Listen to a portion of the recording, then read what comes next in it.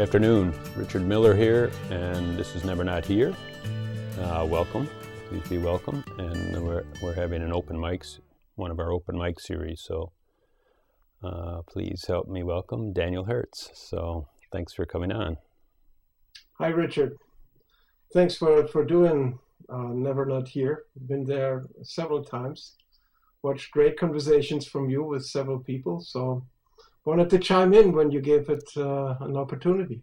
Yeah, actually, the opportunity is always open, and uh, thanks so much for coming on board.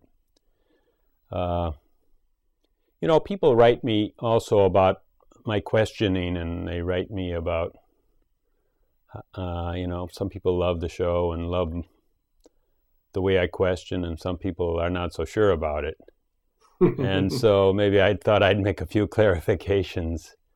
But cool. um, to me, uh, one problem with so-called non-duality is that we're saying that the languaging part of humanity is not that much tied to this moment, or it's without a thought and an idea. Uh, many things that we speak about and concentrate on or give our attention to um, are not really here anywhere. I mean, they're just so much in our thoughts and in our interpretations, and somehow we can look at things as if they embodied that interpretation. And uh, so we're saying that uh, basically the thought part is not real, and, and, there's a way to just be in the presence, and then we just be in reality.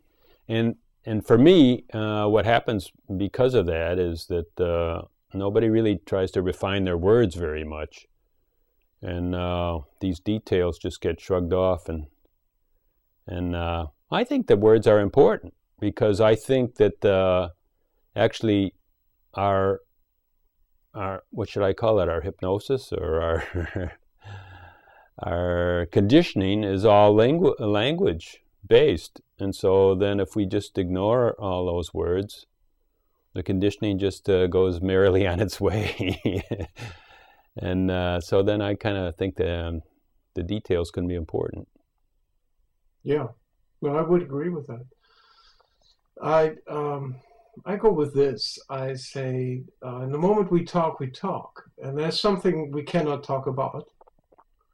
And you can put a lot of different things into that. Uh, let's start in the typical non-dual um, context, you would say the silence. How can you talk about silence the moment you talk? You're not silent anymore. So, you know, um, or in the philosophical sense, uh, that uh, there, there, there's always that we don't know that we don't even know. So, uh, all we do in talking is we're approaching reality. And so we want to get closer and closer to it, knowingly that we always will fail and I think that's a, a, humble position that I prefer. And being 53 now, I prefer people who talk in that kind of coming from from a kind of humble position like that. That doesn't mean that I'm not listening to the others, but I, I kind of get tired of this idea that some know and some don't.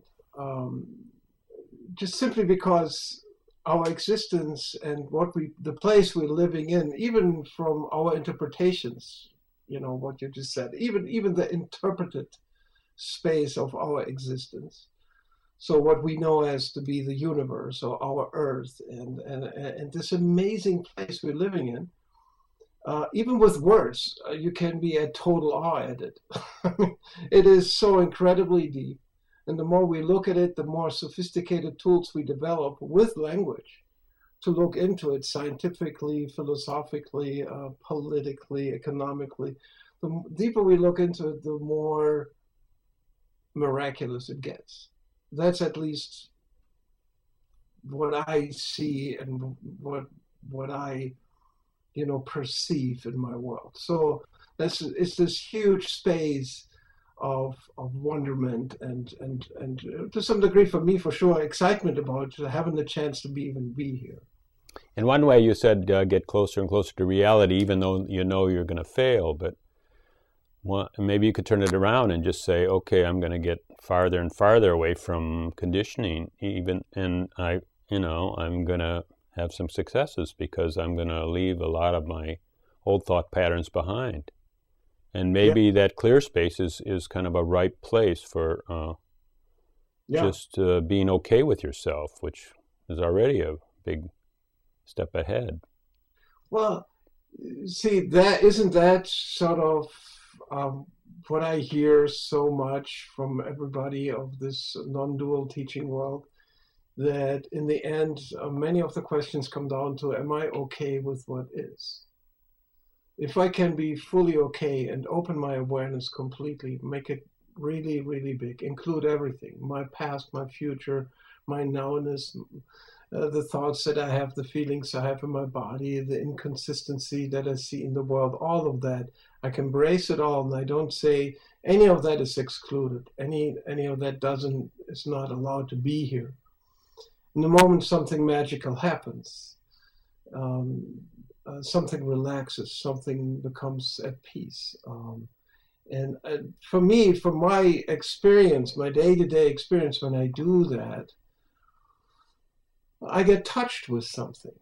Something touches me, and I have a hard time wording that. I could call it God. I could call it silence. I could call it emptiness. I, you know, I don't really care what you call it, but it's certainly there is a touch. And I notice, like even saying that with you here in this space, that I sense it here, right, right between us that there is when you touch. say when you say okay you know okay with what is well that's kind of like a precondition because many people are saying well if you could only just embrace everything accept everything and right. you can't really do that unless you're really kind of and somehow come to terms and say i'm okay with it and maybe that takes a kind of a storying because you could say well i always used to hate that but i guess it's right. a step in the path or something like that and then just leave it there, you know, and, and somehow not care if it it shows up because it's here, you know, and then it's here, yeah, yeah, and then in a way, something you said uh, miraculous kind of happens. This this peace and rest comes, and I think that um, to me, I'm I've been taking that as kind of like a mechanism that when we don't really have a belief that something's needed, that we're needy, that we're lacking. You know, in other words, that's the same thing as saying we're okay with what is here. You know, right. we might have a preference or something. When we're okay with what's here, well, then our obedient servant called uh, thoughts, thought structures, uh, kind of like uh, fold up shop for a second, you know, and yeah. just say, well, I guess I'm not needed. this guy's okay. and so then that's what, uh, you know, that seems to be a, a mechanism almost. Yeah, um, and and I would go this far to say, um, you know, who says that we always have to be good? Who says that I cannot be okay with not being okay? I have a number of things in my life right now. I have body sensations that I'm not really happy with. You know, I told you earlier today I woke up sick. You know, and so yeah, my ideal state would be not to have any pains and aches and not to be a little sick. Or my ideal would be that everything in the world is okay. But who says that it has to be that way? Who says that there's a particular goal for this existence, and once that accomplished, then now we're all okay? Or the whole idea that enlightenment, you know, in some moment I will attain that enlightenment that will, you know, encompasses all states uh, through all sleep and dream states. I'm always aware, and now I'm completely, I'm finally there. Okay, so but that's an imaginary standard. And once the seeker gets a hold of that imaginary standard, now we're seeking after that. It's it's a to me a loser's game. Because here's here's one thing that I I really am marvel at. So ever since I came upon it. And that is, you know, when I looked sort of the backward step, how they say in Zen, I looked into the source. Where's my hunger coming from? Where's that seeking coming from?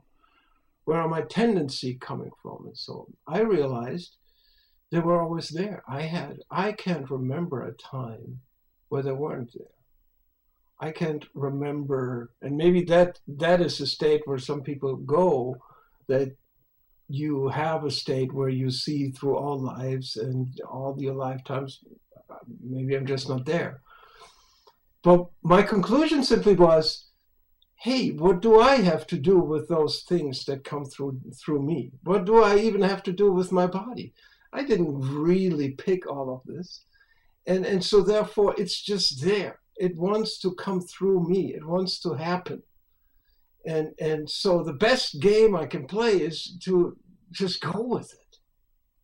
You know, what, what's wrong with that? It just is there, including the miserable parts and the parts. You know, there's nothing wrong with that, except that we, you know, we just have to uh, realize that that's an option because, uh, you know, in all our, our schooling and in all our coach, we've been coached to say that we should alter things and kind of uh, um, change things for the better and, and apply ourselves and uh, and you know we never thought that oh you could just be who you are and and somehow you would be in a natural well, I don't even want, I don't really necessarily want to say a natural growth, but I mean uh, some kind of a evolution or some kind of a, mm, a change is happening. I mean, because let me ask you this, because you said uh, these things were always there, but have they changed over the decades? Well, uh, tendencies and stuff like that. Yeah, sure. I mean, um, things that were of great interest to me, uh, I don't know, a few years ago, don't interest me anymore. But I didn't know how that happened. I didn't know how I lost interest in it. It just happened. So. Um, well, one thing you could say about interest, you know, like you're you're often interested in things that you don't quite have yet, and that you think you could get. I'm not really interested in being the president of the United States because I don't really want it, or I mean, uh, I don't think I could get it. Right. But I mean, uh, and and things that I already have, you know, I might be interested in holding it, but I mean, I'm not so much interested like I was when I was just almost there. And right. so, as things kind of some somehow uh, manifest, then I think the tendency is to lose interest. Yeah, and I notice that it's in direct relationship to how much I've opened myself to actually what is uh, the self-reflected um, sort of as a child you know I, I i have a couple of kids they're now adults and i remember a situation with my my son he was like totally in his world I, he, he thought this has to be this way now and a friend of mine came, stormed into his room a very very passionate good friend of ours and and sort of hit him here on the on the uh, on the front head and said, "You know what? There's a bigger world out there than your little world." And and it hit him. It, it really arrived uh, at his heart because it came with great intensity, and and in one moment to another, this whole idea that certain thing had to be for him this way sort of poof went this way because he opened up and saw that there's more, much much more. And and to me, oftentimes this spiritual seeking is just the same thing. It's like I want, I want, I need this, I you know, uh, how is that any di- different from, from, from anything else? I remember this. You know, I had several, it started my childhood. Um, I had several experiences where I, ca- I cannot better describe it than where it sort of disappeared, where everything else sort of, the, I was still seeing everything, but that which I saw was just as much me than what I felt inside you. It just happened spontaneously. Then it happens a few times through drugs. And then, of course, I always wanted it back. I wanted that feeling, this amazing feeling of where I always could only find one word for it, and that's kind of oneness, you know, be one with everything, that this, this separation disappeared. So I wanted to repeat the experience. That's like a really cool thing you're going after, right? I mean, once you touch that, hey, now you want it all the time. And maybe there's this amazing state where it never goes away, right? Now you're finally fully enlightened and you never lose it anymore. And over time, and I, was almost a painful process, I realized that I lost the desire for it. That I got tired of looking for it. I, I just, it sort of dropped away from me, this whole desire to be in that state. And it was like a departing of a, of a sweet thing, you know, it was so close to my heart. I need to be, you know, I have that search and then I will teach it to others and we're all going to be at one with each other. And then, then that disappeared. Well, of course, if you, when you talk about the the part with drugs, uh, it usually gets worse and worse, right? Because you got to take more and more drugs, and then and yeah. you have to take bigger and bigger hits, and then and then there's bigger and bigger side effects, and then so then yeah. you can certainly get fed up with that. Now, you might also just get fed up with uh, some natural experiences because they just don't come, you know, and then you say, well, here I've just kind of devoted 10 years of my life to uh, recreating this thing, but it's not really happening, you know, and right. so then uh, maybe I should just get on with life, get married, have a family, or do something else, you know, or. Yeah, no, I mean, this was happening while I was married. I'm, we, my wife and I just celebrated yesterday 32 years of being together. You know? Congratulations. Yeah, and and see, to me, um, what I experienced over and over again in my journey toward oneness, uh, you know, to living oneness, that's that's sort of my the direction, you know, the question that I want to ask now that I'm here is where am I going, right? I mean, that's sort of the question. Now that I'm present, let's just assume that, you know, we have we have a baseline. We're here. Okay, so where are we taking this? then the question that shows up for me is how do I manifest that which I've seen over and over again in so many different forms, not just as an inner experience, but as uh, observed it in others, observed it in relationships, lived it in relationships, you know, to, to a great degree. Um, so how do I how do I make this manifest? You know, how, how can I how can I, you know, I guess, you know, a lot of people call that embodiment or the bodhicitta, you know, the, the way where you really share that enlightenment with, with all beings that you go out there and, and, and become one, not just inside of yourself, but with everything that occurs in your world.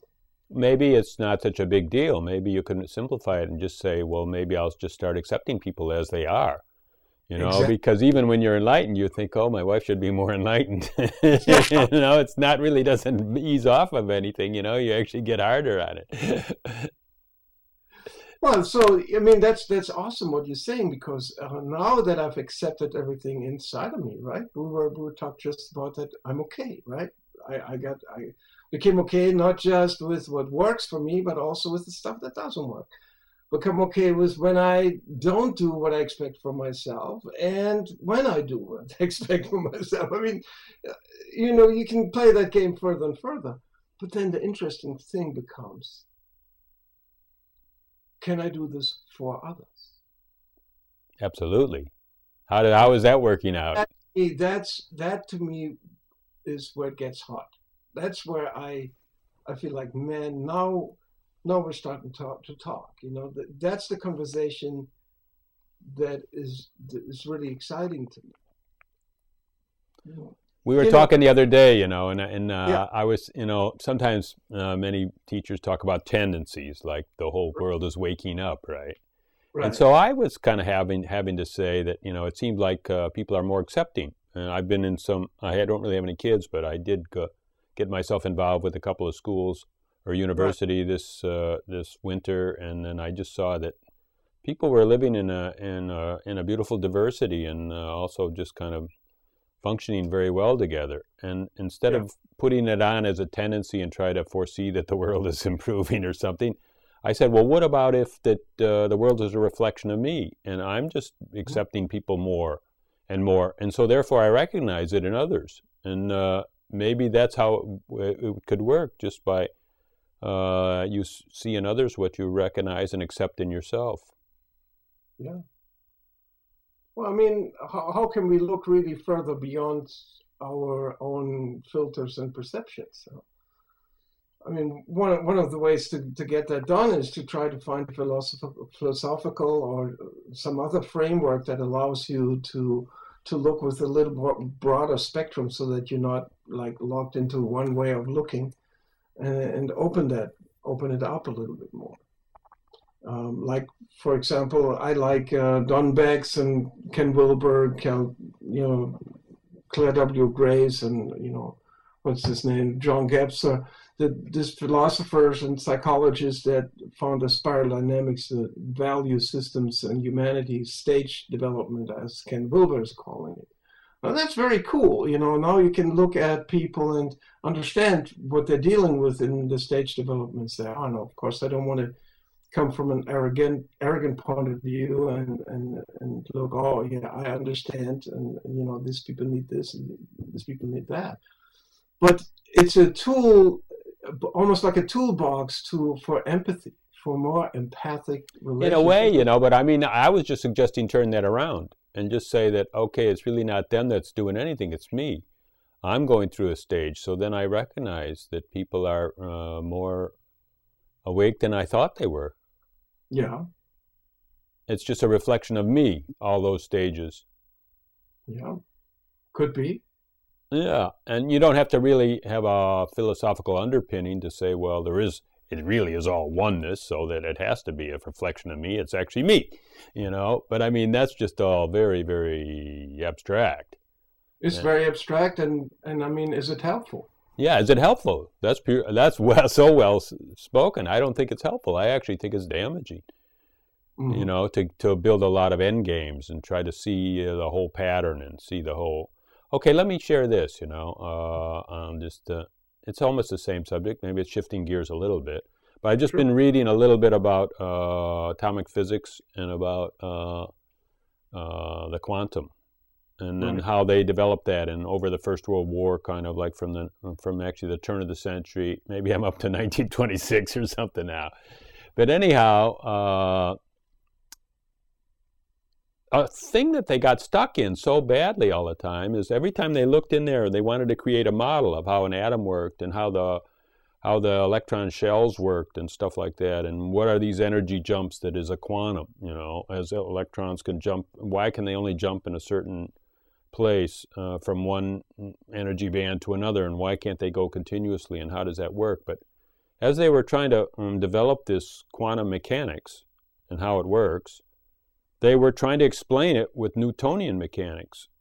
Mm-hmm. And they were saying, you know, and they couldn't let go of their old paradigm of how to visualize the world. And so then they were saying, for, uh, they had to get more degrees of freedom to explain certain things that they could observe, like spectral lines and splitting of spectral lines and stuff like that. And they need, and they couldn't mathematically uh, duplicate th- those kind of predicted results or those observed results until they got more degrees of freedom. So there was up and down, left and right, and back and forth. That's three. They needed a fourth, so they called it spin you know? And so then spin is just a word that means there's two degrees of freedom a right or a left you know but it's not really a spin like a top you know? It's just a quantum. It's not newtonian mm-hmm. you know? And so then uh, they were trying to visualize it and saying well spin is impossible because if electrons going at a speed of light then if it was spinning the outside of the spin of the electron would be going faster than the speed of light and that's not possible.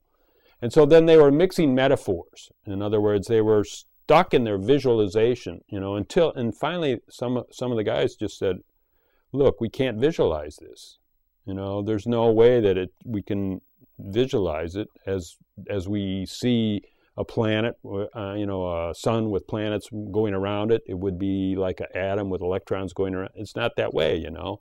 It's a whole different paradigm, and that's what we're doing. Uh, I think in all most of the pointing, you know about non-duality. We're trying to visualize from our kind of mental manifestation and our picture of the world how this thing works. We're mixing these metaphors and we're not really coming from somehow we have to drop all the all the tendency or the desire to visualize and just go to presence and uh, forget what it looks like or you know what is it you know try to mock it up and uh, I wonder if that could be a metaphor for non duality or if that's just something in the physical realm. Well, it brings me back to something we talked about earlier that we're approaching what we're looking at. That we come closer and closer to seeing, to fully clearly seeing, or something like that, or to to uh, to this um, interplay of observation and manifestation. But you know, I, I call it we always will fail at it. Um, you can call it any way you want. For me, this is a, a, wonderful thing. It just simply means that we live in, in an infinitely deep uh, universe that has infinitely an infinite amount of riddles and playgrounds for us. And we're using more and more sophisticated models, including an, a more and more sophisticated language to not only see it, but then also from the seeing to create manifestations, to create actions, to create social behavior, to create, you know, interaction between each other. and and and so a stage of uh, consciousness yes of course it's something that i have to develop otherwise i cannot even use those glasses but once i have the glasses to look at that this way then maybe i can be helpful because ultimately when i contacted you is for me uh, there's there's a few uh, themes that go through everything we talk about that, that sort of we're still in that container we can't get out of it one of them is economy. Uh, the economy of our days. Economy means, of course, more than just exchanging money. Economy is how how do we exchange anything and everything in the way we live with each other. And and so that's a container. We even now, you know, if I wouldn't pay for my internet access, we couldn't talk here, right? Or if I would have physically visit you, I got to drive over there or fly over there, and I got to pay for that. So economy has become sort of like a meta um, structure, you know, a meta macro uh, conversation in which almost everything that we talk about nowadays uh, falls under. Uh, and it, it has not been that way. It certainly is not the truth for, for many indigenous cultures and maybe some other cultures that just don't relate to it that way. But certainly we here in the US and in Europe, where I'm from, everything is is through and through connected with it, including teachers who teach non-duality and charge for it and sell their books. And why do they have to do that? Because, well, we call it we got to make a living. And what does that all mean? What does that mean in, in relationship to non-dual awareness? You know, I mean, in some way you could say, in the moment we're really fully non-dualistic, looking at the world at oneness, why do we struggle? Why do we compete? What, what are we doing?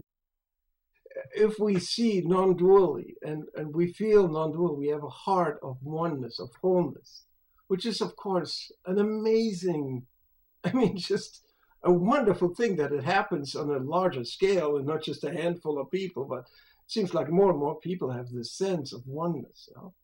So if we have that, I mean, the natural next step is to say, uh, not to inflict any pain on each other, not to compete against each other, not to uh, try to, you know, hmm, uh, you know, get ahead uh, over somebody else, and then to say, oh, you know, too bad, uh, you just slipped off the economic scale. I'm sorry, you know, but you know that's just the way it is.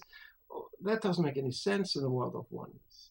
So, you know, you said something about uh, have a sense of oneness, but I guess that could be all over the map, you know, from uh, totally some kind of a real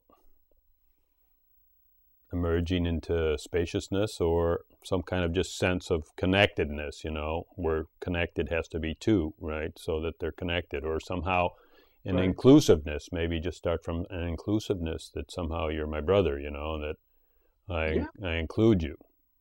Yeah, why would otherwise? Why would I mean? We we can agree on one thing. Oh, if we look long enough into the nature of our being, we realize that at the core is something that's just present and it's not manifested. It's not it's not engaged in any kind of way. It's just there and it, it it spans through everything the manifested and the unmanifested. That's that seemed to be you know one of the ways you can say it and it doesn't matter who i'm listening to in one way or another they're saying that. Okay so all right so we come we're coming to that realization. Now why would we have that realization? What's the purpose of it? Well even without a purpose why would we have it? Let's just stop it there. Yeah. And ask why that question. why would we have it it just happens, right? I mean, it, I mean, we, we didn't do it. no, it has nothing to do with us individually or even collectively. Or maybe somehow uh, relaxation uh, was the key. Somehow yeah. we relaxed or accepted, or just, uh, uh, you know, let's say that we allowed our attention to open, whereas usually it's focused on earning the buck, yeah, or yeah. you know, keeping the grind going, or fixing the car, or you know, our next task, and then our, our, awareness seems to be single file, you know, and so, you know, the precursor to uh, allowing more could be that we don't have to do all those things. I mean, the, uh, we don't, like we said, we're accepting whatever's happening, or somehow we're off of that treadmill just a little bit, and so then that wideness, that widening of our intention, allows us, just uh, makes uh, this experience happen. Right. So here's here's an interesting other question to look at that's directly related to it. So we're doing that for ourselves, okay? So I'm sitting there, I'm meditating, or whatever way you want to call that, and I allow everything. I rest, I relax deeply, and what comes over me is this sense of oneness. Now, when I tell you, Richard, um, I make I want to make oneness personal. I take it out of the impersonal realm. I don't understand this whole thing with impersonal enlightenment. I I think enlightenment by nature is impersonal. Um, because it has nothing to do with me and with my body, with with with anything. It's just there, right? so, but I can make it personal. I can make that oneness personal. I have an ability to, to do that, and that's a language thing, by the way. Say I say can- more about that. How, how what do you mean by I can make it personal? I can go to you and I can say, Richard Miller, I don't know you in person yet. I would love to. Like, uh, you know, I love people. And I love people who ask good questions and engage in exciting organi- uh, conversations. And as you made a step, you became visible. And so I can find you. Awesome, wonderful. So now that I found you, I say, my conclusion from my non dual realization is that I say, You are my brother. I love you. I, I, I hold you in the same space of oneness and I hold myself.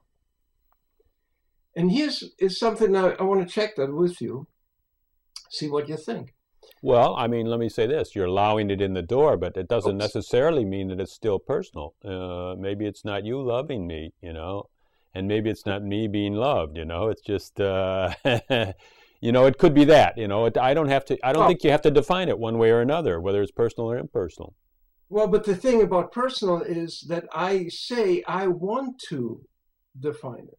I actually embrace the part of me that is manifested. Well, in a way, you're just saying, uh, let it act out through through my through my mechanism, my body mind. Let it act out, and so then Right. that's the personal part of it, For me, you become real. right? Normally, we're not real. We're not real to each other because we're still engaged in our inner conversations that we don't make other people ever real. They become sort of you use other people to find yourself. But here's the thing I wanted to uh, check with you. See, there's a great confusion around oneness.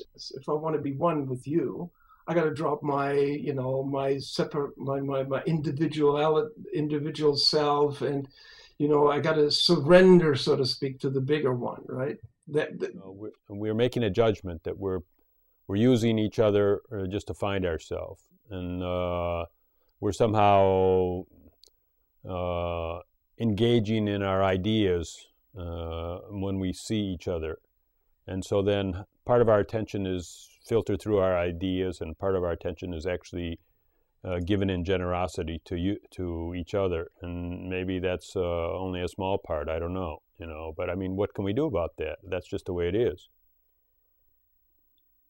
Um, well, we can we can do certainly do something about that. I I think, and then and part of that is uh, is a new understanding. I liked what you said early in our call. You said you believe that language is important, right? Right, I do. I think it's underwater So- and, and kind of controlling us, you know, with our with our belief structures. Yeah, absolutely. So we if we can find cool language, that can be very very helpful. Especially considering that any of uh, a non-dual experience of oneness is always something that has to be interpreted, right? I mean, you can have people go to a, um, you know a Christian church and they have an experience of oneness, and for them that's God. Uh, that's the God that they're praying to. And uh, if you're a Buddhist and you know and, uh, and you have that non-dual experience, so it doesn't because it's silent, because it's not manifested. Any way you talk about it will be an interpretation of the uh, from the cultural background that you find yourself in, or it'll be something that you come up with, that that that you creatively uh, generate just because you want to sort of maybe push the envelope, maybe find a different way to talk about it, you know. And and and and here's one way I suggest. So, if oneness is really there, then there can only be one oneness, right? Right. Can be no- only one oneness, and that's you know that's kind of abstract, but here is sort of the other side of that story, and that is everything is unique, and certainly everybody is unique. So oneness has only one way to manifest itself in this world, and that is through uniqueness. Everything is only once.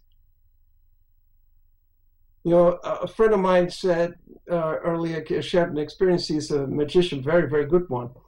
And, and they do borderline stuff. Of course, it's all kind of smoke and mirrors and tricks, but they still have to uh, embrace it emotionally and, and really put the magic to it. So one of his teachers said, okay, go to this uh, riverbed and find me two rocks that are identical. And a whole big group of people went out there and they couldn't find, not one of them could find two rocks that are absolutely identical. Now, I've asked a lot of people about this. After, do you believe that there's anybody exactly like you in this ocean of 7 billion people? Let's say, just say 7 billion people. Yeah, well, no, I don't. And I've not met even kids, old people, very educated, not educated, non dual awareness or not. Everybody gives me the same answer, which is no, I cannot imagine that there's anybody exactly like me.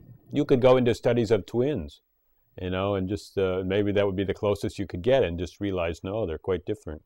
They're quite different. So I, if I go a step further, I say there is nothing alike. yeah. I mean, to me, woo, that's exciting. That is an amazing uh, realization when you go the next step with it. Because what it means is that this oneness, in its uniqueness, when it manifests, it needs the other to experience its uniqueness. Because if I, if that would be just you and me, our uniqueness wouldn't mean much, right? But if we have 7 billion others, actually our uniqueness is a, a lot more sophisticated. So the more humans there are, the more significant becomes our uniqueness. And that's sort of really turning everything upside down. Because in general, people feel like, oh, the more people there are, the least, the, the least, um, you know, it, it doesn't matter that I exist, you know, oh, there's many people, you know, I, I'm nobody. Well, it's the opposite in the world of oneness. In separation, when we use each other uh, to define ourselves in the way of separation, then that's true. Then you don't want to have the, all these many others because otherwise, you know, what does that mean? You know, you have a very limited bandwidth of defining yourself. You just always right have... in separation. In other words, uh, the right. more there are, the more insignificant you are. Right. But in oneness, the more you are, the more there are, perhaps, uh, the more important you are. I don't know. You are unique, like you said. And the more exchange you have. In other words, every time you embrace another unique human being and you really, and that's what I was getting at when I said, I declare my oneness with you personally. And the moment I do that, and the moment I deeply engage with you, with you as a person, with the conversations, with your good and your bad, with the good, bad, and ugly, with, with all of it, the moment I do that, something unlocks in me because now we're dancing together. Now I got not only Ingrid, my wife, which I've been dancing with for 32 years, I got my kids to dance with, I got my friends to dance with, and now I got Richard Miller to dance with. And I mean this a particular dance because I have no chance to dance with humanity. It's far too many people. I can't even meet even even a small fraction of them.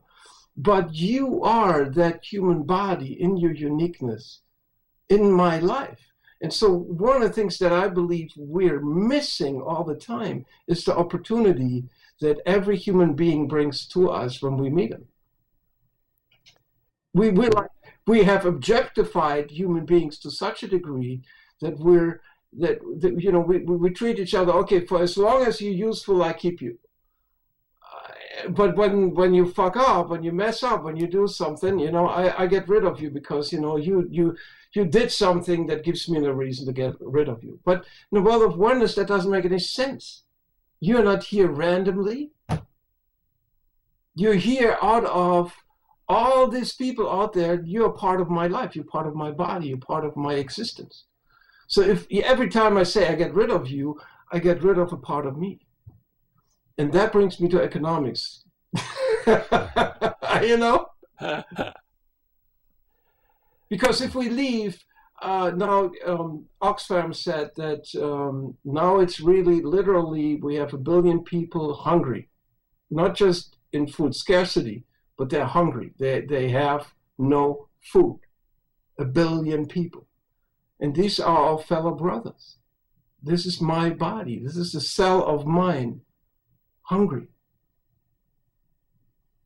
Now, I'm not coming from, see, this is the, the great contribution of non-dual dualness in my life. I always had a tendency to be sort of a lefty and uh, and be be very engaged with social questions. But non-duality have, has given me a place to come from that's not the like I'm alarmed and uh, you know we got to do something otherwise the world is going to go to shit and so on.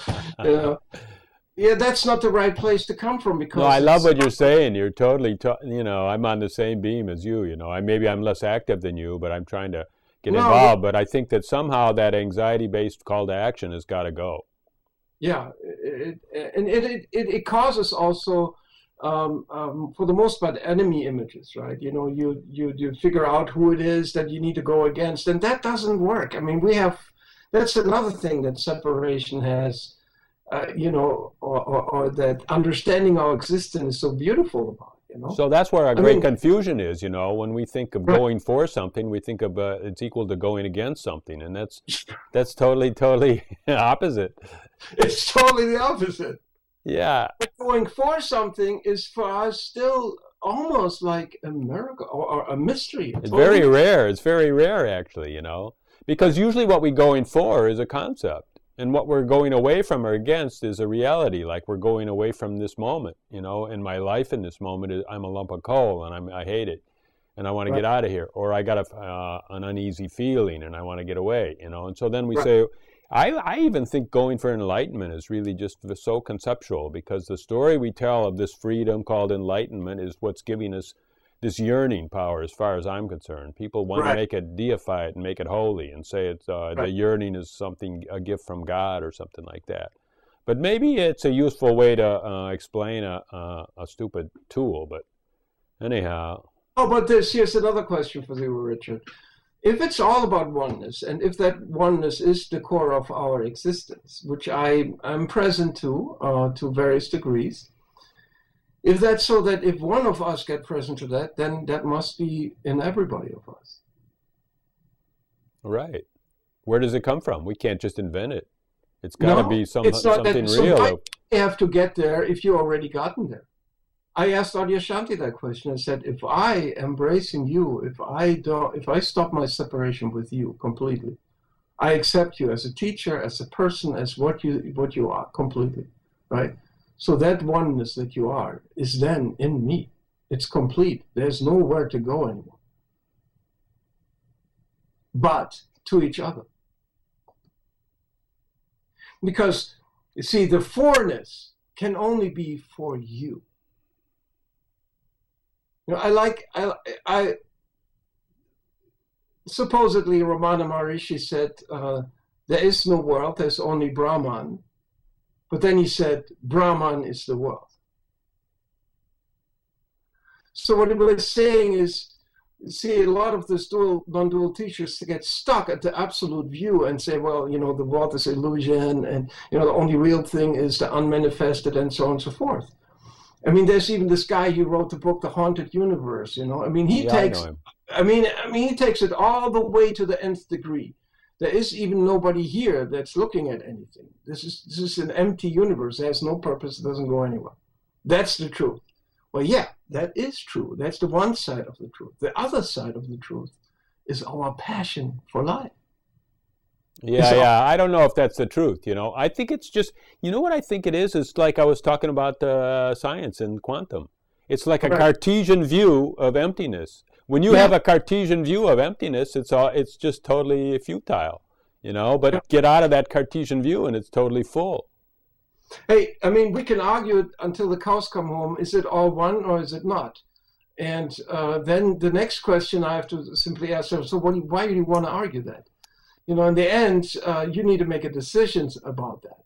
And that no, is... I don't think you do. Forget the oneness. You know, that's an overlay just forget all that stuff. You know, okay, you have experiences, you don't have experiences, you feel right. close, you feel far. I mean, that's what this moment is all about. And so many people, you know, instead of trying to have a, a grand scheme of things, which it always has to be overlaid, you know, laid on some some experiential groundwork. Just uh, meet what's here. You know, yeah. that's the other side of it is meeting, meeting, meeting the moment. Just meeting yeah, well, it. And, and if you bring it into the moment, it's just the same story. Right? I mean, there's only this one moment. Yeah. It's always, it doesn't matter. You can't get away from it. Who knows? Even if you're dead or commit suicide or anything, uh, who knows if you ever get away from Where, what other moment would you be in? I, exactly. so uh, that's what I mean with oneness. I mean, I don't want to use it as an overlay. Uh, I just, it's just it. It's just a way to talk, you know. yeah. Anyhow. You know, and it's the conversation of the day, you know, because the separation conversation doesn't take us anywhere anymore. A really good conversation I had, a really good one, you know. But he kept saying again and again about the human situation is a belief in separation. But what good is that? What good does that do to anyone uh, to know that I'm believing in separation? And, to, and there's no way I can put, apply myself and start not believing in separation or believing in unity or believing that there are no boundaries or any way I look at it, I'm trying to cart- use the Cartesian, you know, an old kind of a, a system of, mm-hmm. uh, of, of, of sensing objects, and I'm trying to model that into something that, that it isn't, and uh, it can never work. And uh, so then I don't see any use to that. Just to say one more thing, uh, he said like uh, the ego is attracted like a fly to a uh, like a moth to a flame, right? Trying to know this this this truth, this empty space, right?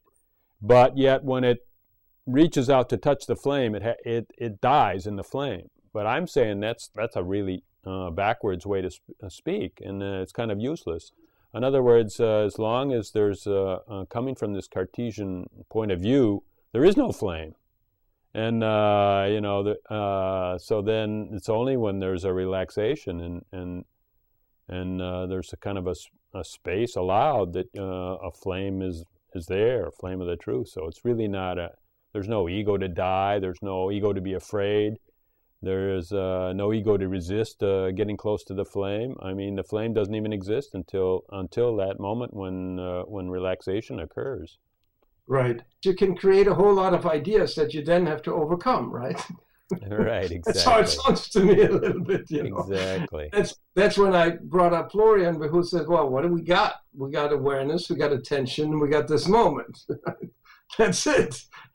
Is there anything else you want to bring into this? And I think you can't argue with that. That's that's it. And when the intention gets really narrow, the narrower it gets, the more distance you create, the more separation you get, because you're not embracing the full picture anymore. And the moment you're embracing the full picture and you really open up your awareness, something relaxes, and we talked about that before, something touches you that just is there, you know, and, and we can talk about it forever what it is. It is the divine over light that shines through all existence and all time. And yeah, okay, I'm settled with that, you know. And I, say this with confidence because, you know, uh, one of the things I've done for 30 years or plus is uh, work with breath with people. Breath is a very interesting little phenomenon because you know, in order for us to think and speak and do anything, we have to breathe. And that was the first thing we had to do when we came here. We had to uh, learn to breathe, and everything else happens after that. So it's a very simple phenomenon. The moment you focus on your breath in a very natural way, there's no technique involved here. You sort of unfolding your consciousness, and you come very easily down to uh, a sense of oneness and relaxation and so on. It works like a dream. It has worked in all cultures. I've done it for Indians, for Europeans, for Dutch people, for Americans. Uh, it works every time. It's always the same process. I have hardly changed it over the years. I developed it, you know, in the 80s or so. It's a very simple thing. And then when you look into Sufi work or you look into, you know, all kinds of different other traditions, it's always the same thing. It's all very simple you know, it has to do with music, which I also like. And so I I don't want to go too deep into that. All I'm really saying is I believe that the non-dual state is very easy to get for people. If they don't create all kinds of ideas about how difficult it is and how much they have to break or be broken some negative patterns inside of them or anything like that in reality none of that has to do with it. In my uh, my experience it has nothing to do with uh, getting rid of anything it has more to do with getting in touch, uh, relaxing enough so that you're touched, that something can touch you where we're normally a little too busy for. The moment that happens, you get a sense of it, and and your whole life gets that touch. Wouldn't it be wise even to just get rid and talk about not getting rid of anything? But one thing we could get rid of is the is the label, the non-dual state, right. the non-dual yeah. state, and we could just right. call it something like. Uh, you know your life is really effective when you're just a little bit relaxed and and not so uh, you know because we've been taught many times to apply ourselves and to really push hard on some things that we want the most. And uh, uh, let's just say that that's an old model and and we've done it a lot a lot in a long time and maybe we should try the other way for a while. Well and then there's the historical context you know i i grew up in europe uh, the Catholic Church is uh, pretty much all over the place, and maybe other churches, but this is like the by far the biggest organization. And what I learned about that church, uh, what this church did over the last two thousand years, um, plays very nicely into an agenda of folk, people focusing on themselves, right? I mean, you you should pray and pray to God and live a great life, and maybe have a chance to sit beside God, beside God when you die uh, and uh, you know do that. Purify yourself work on yourself do da da da da da da. That sounds to me like modern non-dual teachers and that sounds to me like the secret where they want to create uh, this great reality with their minds. It's all focusing this way. And why? Because the church need one thing if we get together in the marketplaces and we organize. That game is not that easy. Yeah well, I, here we are with another case of an old paradigm and really trying to use that uh, in, in to discover a new model. And right. uh, all we are doing is just uh, living in the old paradigm and putting a new label on it, you know, a new shingle up on our store, but it's still selling the same junk, you know. I, I'm, I'm, this whole idea of self improvement um, is in so far flawed because for me, because what we are as each and every human being is such a miracle to begin with. Nothing that we can improve in this system can ever get to the to the beauty of what already is here. I mean, you can work all your life. You can be Mozart and all that, and, and great. Last night we saw something about this uh, conductor Levine. I mean, this guy, unbelievable what what he can do. But you know, his story was is a story of a of a person who had such a natural feeling for music that he never did anything else. With 10 years, he was already so brilliant that everybody looked at him. And, and he has ears, and, and, and you can see and envy to some degree a life of somebody who's naturally just himself all his life. Because that's what just pours out of him every moment, every moment of his life, right? And so this inspires me for all the people who may not be that gifted, but are still unique human beings. Yeah, well, forget the gift part and just concentrate right. on what you were saying is a magical phrase, like just naturally so much himself. Right. You know? And then that's it. And then all gifts flow from that, right? Because all striving gifts. to be someone else, uh, you're denying all the gifts. Mm-hmm. And so then, if you want to have a gift or two, forget about the gifts and just naturally be yourself. Right and so here's here's what I believe I see more and more and more, and that's something that's I'm sort of testing more and more in my thinking and in my actions. I don't believe that to be naturally yourself is a self-reflective engagement. To be naturally yourself needs community. Now, I'm not saying this as um, a, a statement of, oh, that's how it is but that's occurs to me more and more. Yeah, it's very beautiful. You know, I mean, uh, one step in that is to make yourself visible, right? Yeah. One step is, is to make yourself visible and to, to bring this back and to make others real. like to say you're real and and go beyond this impersonal BS. Everything is impersonal. Yeah, it is impersonal. Of course, it is impersonal. Let's just forget about all of that and get engaged with each other and and and recognize who we have. Like because it's it's it doesn't look to me like we have like oh an endless supply of human beings that you know and the ones that are not useful just die away and then you know we get some others to choose from that's not really how it works i see you know one of, one of the biggest ep- ep- ep- epidemic epidemic in the us is loneliness older age loneliness people not having others why? Because maybe because we have passed them on all our lives and said, "Oh, yeah, you're not the one. You're not the one. You're not." Well, not only that, we've said, "I'm not the one," and so then we haven't I, made ourselves visible, right? There's right. both that you're not good enough, and then the other side is I'm not good enough, so I can't come out yet. Right. And and very much like your open forum here, you know, I want to take advantage of it because I, I think it's totally time to come out and and and and for me coming out means i am here with with my imperfections with with everything that i got you know and and and i'm, I'm here to help your uniqueness your unique gift that you are to emerge because every time i can help it something in me turns on. And that that and, and that that's not a theoretical game. This is not a construct. This is totally real. Yeah, but I mean, even let it be a game, you know, let it be a game and let it be a theory, and oh, just yeah. say, okay, the theory in the game is that uh, uh, oneness is only realized through through uh, uniqueness. And indi- uh, indi- individual uniqueness. Let let it right. be. And, and uniqueness can only really flourish and, and come into existence when it's in community because it has to ha- has to reflect itself in something else what, is, what does that uniqueness mean if you have nobody?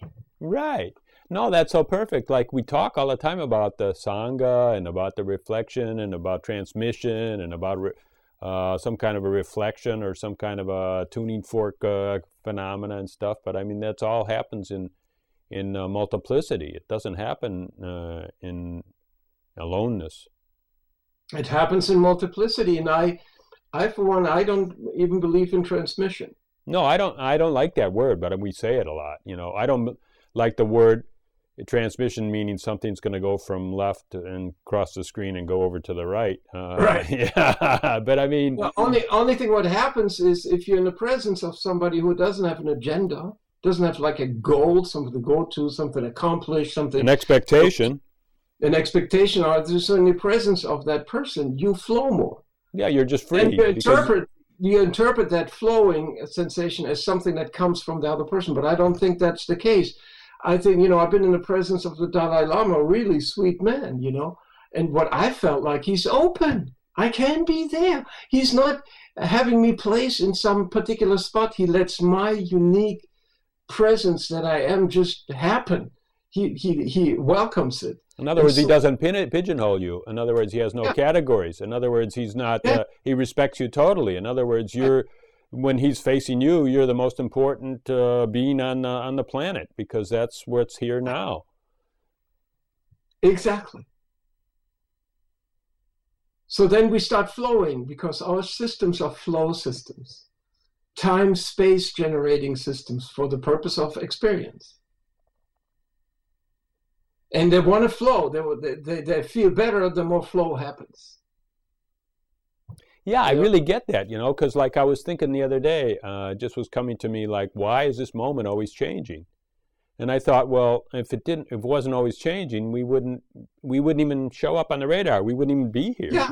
because we wouldn't realize the flow. There would be no, the flow would be stopped, and the flow is what, uh, what is consciousness is the flow probably. Without the flow, there's no consciousness. I mean, everything is just frozen in the river and moving together, and everything, right. everywhere you look, it looks the same, and yeah. uh, and so then there's nothing to see. Nothing to see. Yeah. So when when when we don't, so in in in a dual game, we're always losing. losing in the sense of what we try to overcome, we become. What we try to overcome defines us because we're putting all our attention there. And in a dual game, the one who is more brutal and more, you know, is better at that game will win. Right? So, in other words, if you are coming from a, a peaceful, all inclusive, holistic kind of view, and you fight the ones that are not coming from that, you will lose. And I believe we're always lost. Throughout history, the voice of connection, the voice of, of oneness has lost for a good reason. To come finally to the point to say, okay, how do we play a not dual game? How do we play? And, and, I'm not meaning, I'm not saying, you know. Well, wait a second. Let me say a few comments because, like you said, Right. uh, people that play a dual game win. But what do they win? They win World War Four. Yeah. You know, that's all they win. And you're just saying the ones that don't play the dual game don't win. But I mean, I don't think anyone's playing because finally they just say, okay, I better be a duelist. You know, I better fight the the evil forces or something like that. Maybe nobody's playing. Well, Very few, very few. Yeah, very few are playing. That's right. So there, there is a game of engagement with each other that sets forth more flow.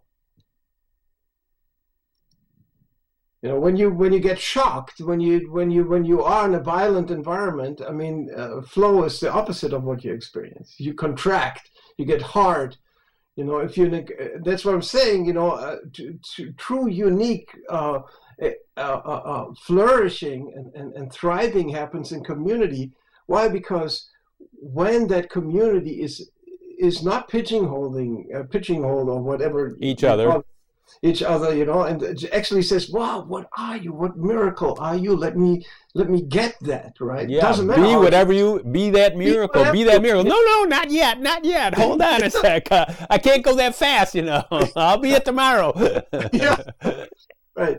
So when that happens, all systems start flow more, start to flow more.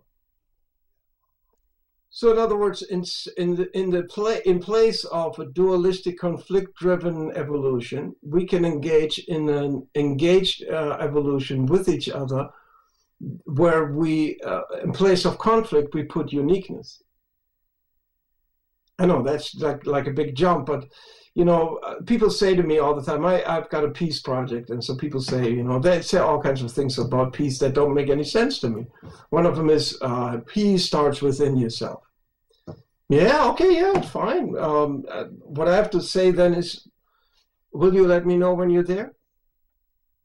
And uh, will you know when you're there? I don't understand that. Another thing to say is, well, there's never going to be peace because, uh, you know, there's peace and then there's war, and the two always will be. Then I have to ask them, well, well but you, what, what do you want? You want that to be so? No, they say, no, no, no, I would like to have peace. Okay, simple. like, you know, we're always in this, in this conceptual, trying to understand things. Why can't we go with the heart and the needs and the feelings that are really present in our midst, right?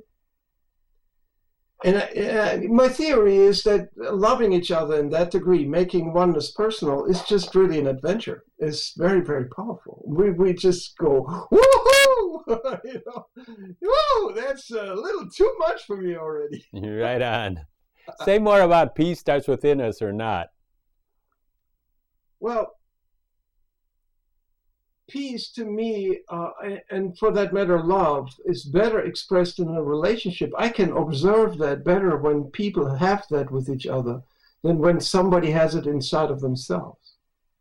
Peace as an individual is in some way meaningless to me. Peace is a social term. Peace means that we are engaged with each other in such a way that that is, is, is life supporting it's helpful.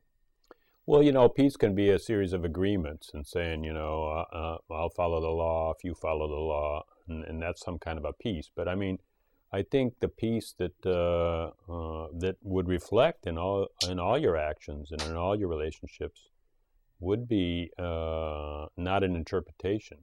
You know, No. it's not another story.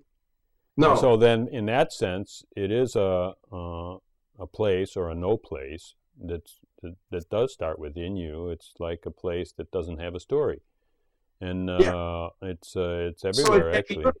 Huh? Uh, you said you got to show up. So uh, if it's in within you and it's there, then all it needs to do is got to show up. Well. I mean, as you show up, and would that's what's that's what shows up, and that's the you that shows up. You know, is that kind of like, well, I don't have to say no story, but it's like uh, it's not really emphasizing any story over another. Your story is just as good as mine, Yeah. Right. yeah, and that's peaceful. That's peaceful. Absolutely. Uh, At the core, again, is that I accept you and see you as a part of me that really doesn't completely, uh, you know. But but here's here's the danger of that. Um, when in my conversations with people, they say, "Wow, you, I make you part of me. That means I always got to listen to you, and I always got to include you and everything. Oh my God, we can't ever any get anything done, and you know, and uh, you know all this." Well, yeah, but tell me any better game. Tell me any better game than be engaged with each other and support each other's uniquenesses and, and the manifestation of it. Now, when you combine that with the realization that we're approaching reality, that we're approaching, uh, you know, how we manifest everything here, you know, um, then, then, then we have an internal game to play. A beautiful, amazing opportunity to to manifest that uniqueness. That's that's really a hold and silence, and it pours out like the, the eternal cookie dough constantly changes, constantly brings up. And if I am there to receive it and to allow it to happen, and we are that in a community, then we create a field of oneness that's manifested. And, and, and that's the only thing that I can see in terms of activism for our days today. Now, the more form we can big, bring to it, the better. In other words, if we can do it local economies, local food, uh, all that local stuff, if we can build global networks that become financially powerful, why not? We have we have we have an economy in place that we can use any which way we want to. Why is it that we're such wimps? Why is it that the war boys can hog it all? Well, I wait a second now. I'm not. Now we're going into the economy, which was something that you were really interested in speaking about. But um, I'm not so sure that we can use the economy as it is now any way we want to. So Yes, let's say say more about that, and I'll tell you my angle on it. Well, there is there is certain economical truth out there, right? Uh, in other words, the system is shaped uh, for for the interest of a handful of people, more or less. And and if they, if you know how to play the system right, you have a huge advantage over anybody else, especially if you have any cash to begin with. But what you also have to have to play the system right and, and take advantage of is is a callous attitude. Well, I think that the system is a callous attitude. Right. The system is, is it, and, and it's the only thing that it'll work with. Actually, it's like a me attitude. Not necessarily callous, but it's me first. It's me first and all Yeah. that. But it doesn't mean because it's based in numbers. It's not based in any kind of philosophy. Yes, yes, constant growth, and so it needs a lot of adjustments and everything. But we still have a marketplace. No, it's that- based on a lot of different uh, parameters that are fixed. You know, first of all, I think the economy or the whole money system itself is a distribution system. Yeah, So then, it's a distribution system. If you look at it, that's based on scarcity. right. Because if things aren't scarce, then they're not worth a nickel. You Right. know, you can't sell air, uh, but you can. Uh, you know, you have to make something unique to sell it or to to make it work in our distri- in that particular distribution system. So things that you want to be distributed. Uh, um, to, what's the word? Totally to everybody, with nobody left out. It won't work uh, because uh, if it's based on scarcity, uh, some people can't have it. So healthcare won't distribute uh, with the money system. Food, Right. food for everybody won't distribute with the money system. Uh, information uh, for everybody won't distribute with the money system. uh, and even internet information is free. So it's not really distributed uh, with a money system. You've got to have broadband and stuff like that. But in the meantime, right. uh, Never Not Here is free. So then I want to distribute that as wide as possible, you know. And, and so then these things, uh, you know, if something is scarce, then it can be distributed with the economy, and and, and it supports those people that uh, that made it, you know, and then that's why medicines, uh, the only medicines that are in the pharmaceutical companies are, are patentable. You know, well, any, so any kind of health. Tell, go ahead. Let's take an example. Uh, the the medicines distributable, right? Okay. If we would use our loving community, our oneness community, and go into this economical systems and use it uh, life in a life supporting way, we would still be engaged in some aspects of it that um, limit our, our capability to move with it. So we would want to transform it as we go. But it doesn't mean that we can't do anything right Yeah, okay, we'd have to transform it as we go because it just, uh, you right. know, it just means that, okay, like there's a lot of rules, you know, like there's something called the FDA that has to approve medicines and right. it costs millions of dollars to do that. So nobody's going to uh, take wheatgrass through uh, the approval process. Right. And so it's never going to be a remedy. It's just going to be kind of like a, you know, I'm just saying wheatgrass, like as if it was a remedy, but you know, any kind of herb, for instance. But see, they're so all free, so nobody's going to invest in that. The connection ultimately for me needs to go from non-dual awareness to what I would want to call, and this is just one of the playgrounds, what I would want to call uh, something like economic activism. In other words, we can uh, use the power of our numbers if we could finally get out of, of the self-centered space. Uh, you know, when it comes to survival, we, we're scared. We, we, we don't even bring the conversation to each other. I have hardly ever found, and I've looked far and wide, Ken Wilber, you know, Beyond the Awakening, Andrew Cohen. I mean, it doesn't matter what community I'm listening to that talks about enlightenment and awareness and all that. The theme of economy is never touched on, never.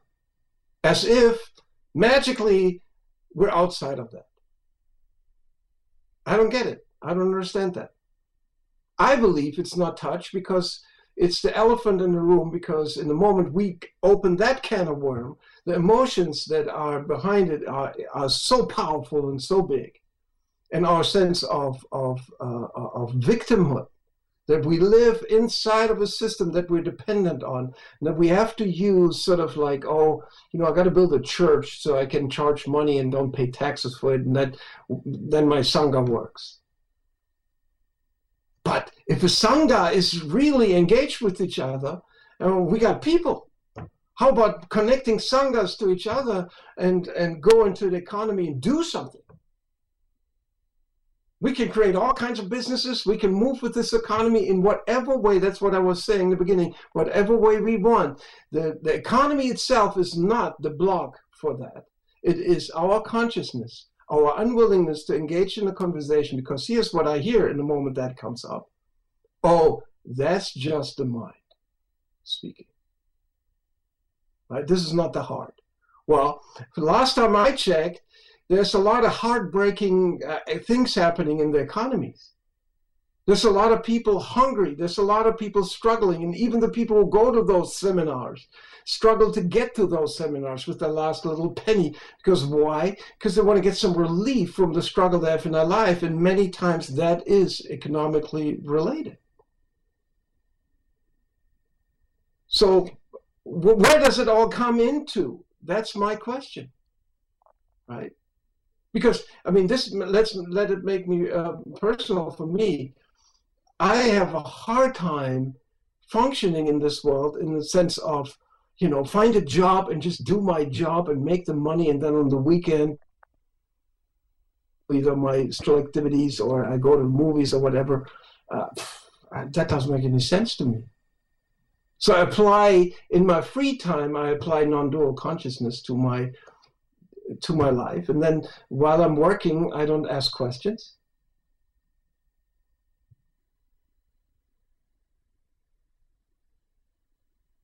I read you. I totally read you.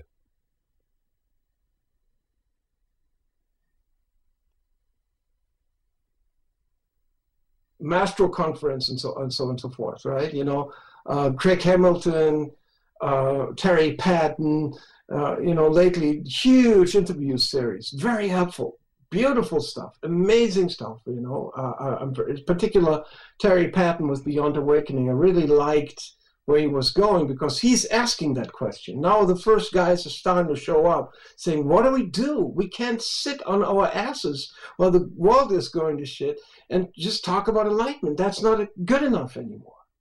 Right? But yet, in the next breath, he's offering a course. And in some way, the whole thing is for that purpose.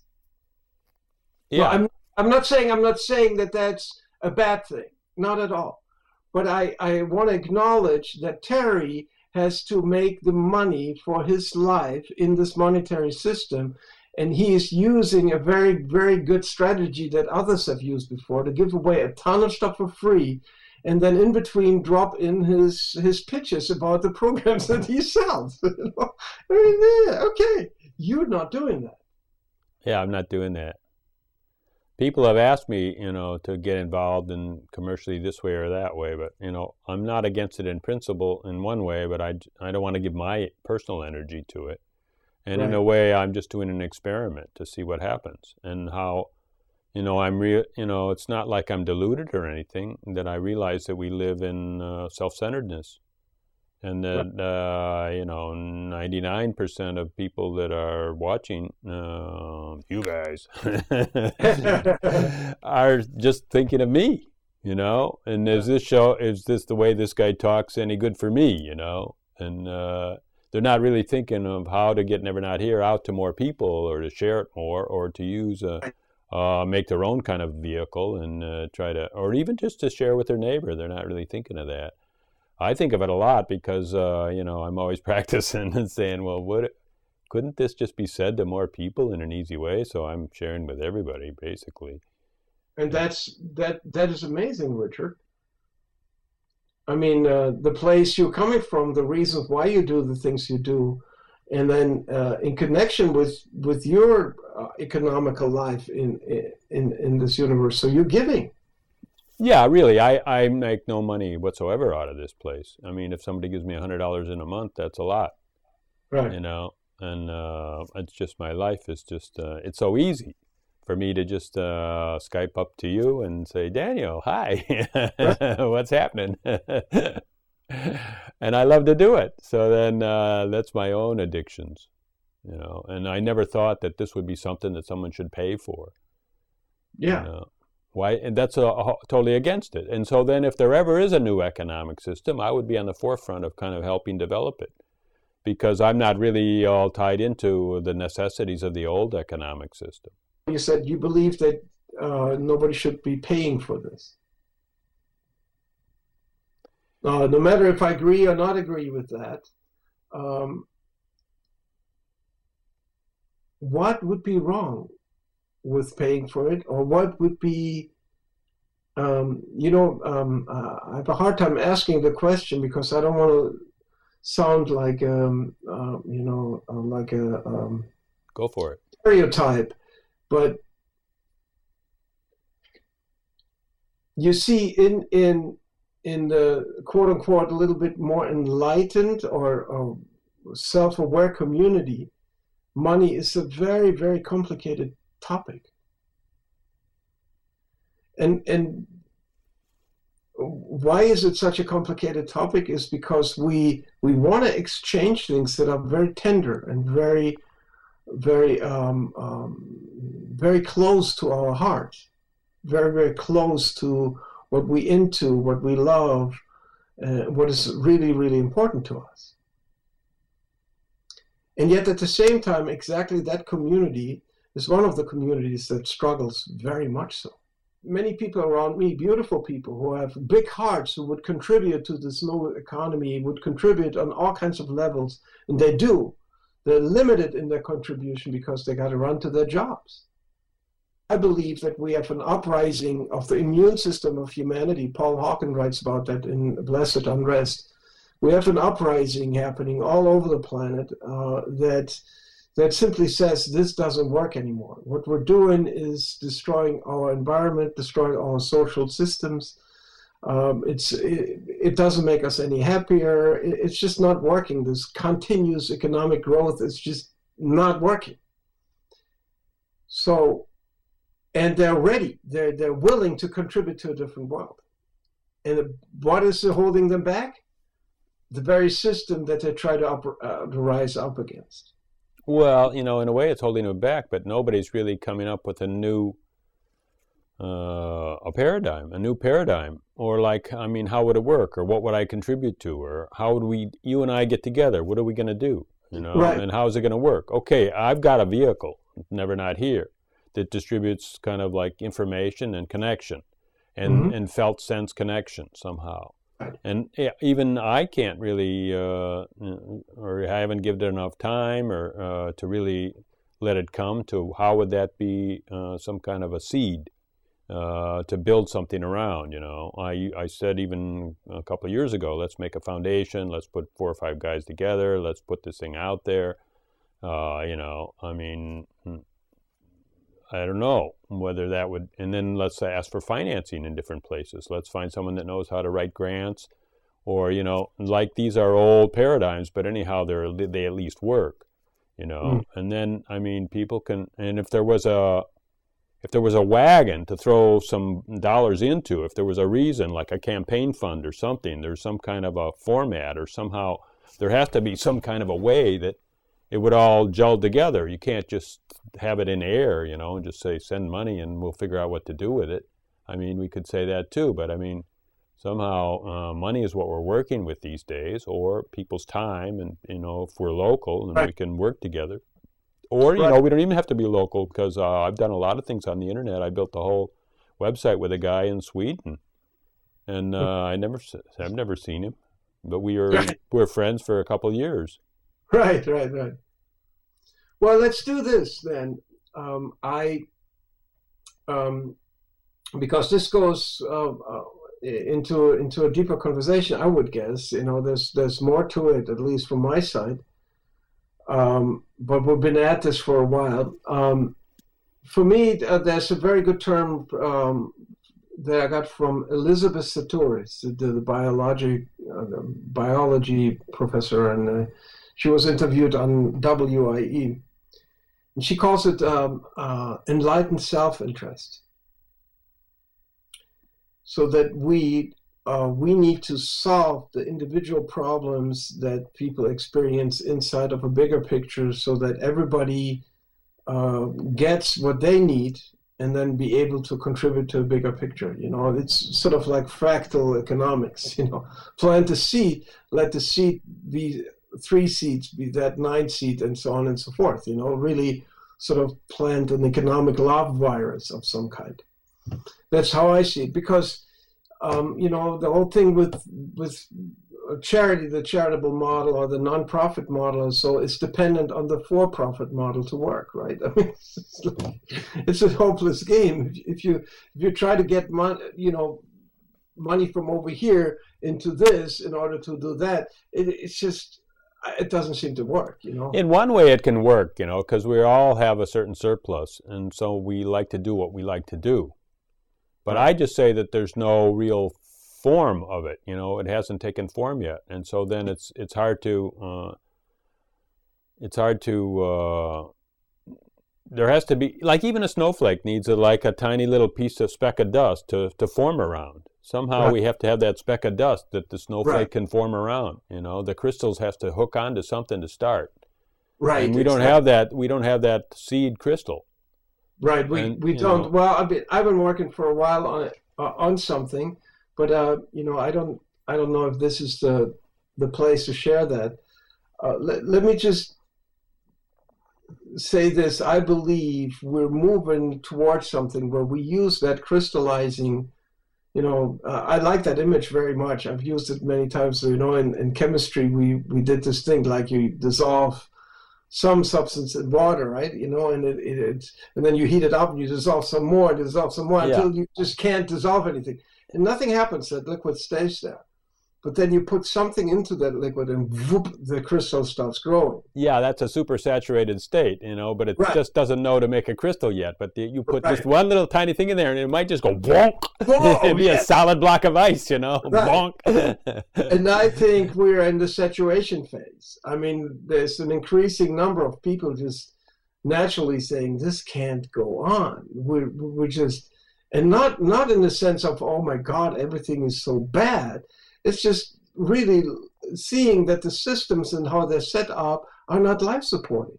You know, we could do it the other way around and then we would be life supporting. But what we're doing right now, like you pointed out, you know, scarcity, economy of scarcity, um, you know, I mean, the, the, the international monetary system, the fract- fractional banking system, uh, you know, the whole thing was derivatives. I mean, this whole, you know, all that. You know, a great a great key word that they're using now, and that's a word that nobody knows what it means. It's just we're inventing that word, and it's called sustainability.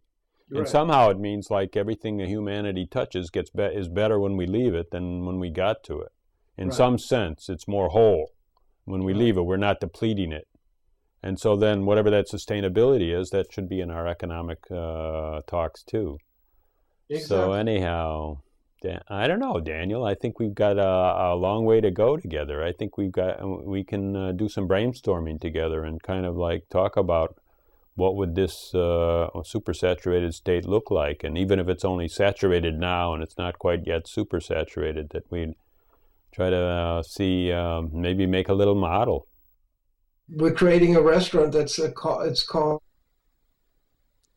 um, pay as you want. In other words people who have a little bit more give a little bit more so that we can feed some people that have a little bit less. And uh, we, we employ people that right now experience homelessness and, you know, create uh, not a hand down, but actually to create flow systems. Here we are again, flow systems, engaged system where people are engaging with each other and don't look at each other in a labeled kind of way. You are homeless and I'm privileged and so, Daniel, uh, I really, really have to thank you because I mean, uh, we've talked about so many things, and it looks like that we're we're we're kind of building a structure. We we actually have the potentiality to build a structure uh, uh for the coming century, or uh, somehow uh, build a structure for now. Let's call it. What's important is that the spiritual insight in wholeness uh, this, this, this whole realization of interconnectedness, oneness, non-dualism, and all that, um, that there is a voice in there and, and, and a trajectory and a movement uh, that, that I feel in me pushing, you know, from the inside that wants to see it manifested. And that doesn't mean that that's just that action. It's all on all levels. It's sort of a, a holistic activism a form of activism that happens when I close my eyes and I meditate and I go inside, so called inside, as well as going outside and do things in in in an economic marketplace that um, help more people to be financially free. It doesn't matter where it, where it manifests and how it manifests, but I feel like it wants to manifest. It wants to get real. And uh, you know, like I said before, I think the the elephant in the room is economics yeah.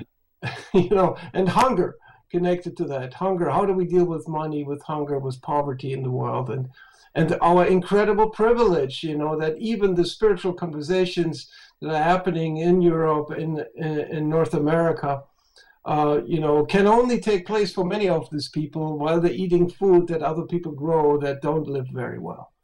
So it's like we got to open up our eyes and really understand also our history, our uh, the implications of how we live, how big that really is, and to realize it's not a danger. It's not something, all, um, you know, it's too overwhelming. I can't handle this. It's too much for me. You'll be surprised that shadow that we carry in our communities and our collective, um, when we are willing to look at it, it unleashes a lot of energy that we then can use for that transformation. So, thank you, Richard, for for this amazing conversation. We went all over the place, and for for never not here, I'm, I'm you know I hope we have uh, uh, many more, and we we actually find some way to do something together.